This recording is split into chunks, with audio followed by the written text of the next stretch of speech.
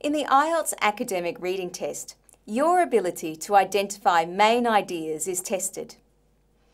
One task type that does this is global multiple choice questions.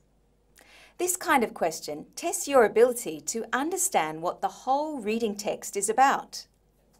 So what do global multiple choice questions involve?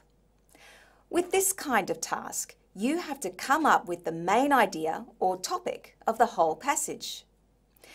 This task usually comes at the end, after you've answered other questions about the reading passage.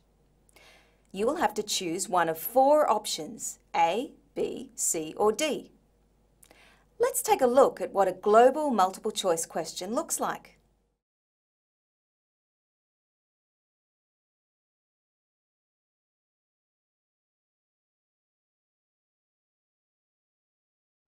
So what is the best way to approach this task?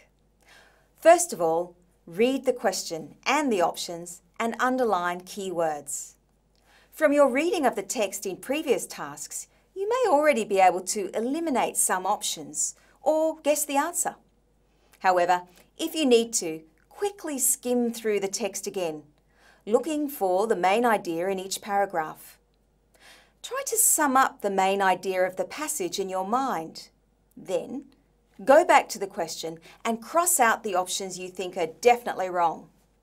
Finally, decide which option is correct and write the letter A, B, C or D on your answer sheet. Now try and practice answering global multiple choice questions.